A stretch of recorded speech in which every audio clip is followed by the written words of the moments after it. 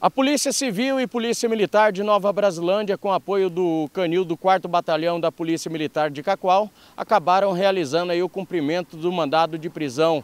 O fato aconteceu em duas residências em Nova Brasilândia, uma no setor 14 e uma no setor 15.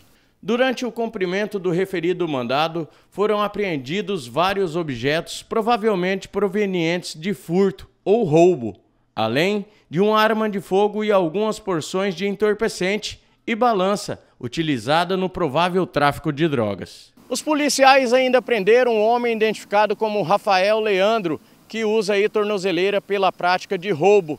Diante da situação, o mesmo foi conduzido até a Unisp, onde foi entregue à autoridade de plantão, com imagens de Rafael Silva, Anderson Gonçalves para o jornalismo da SIC TV.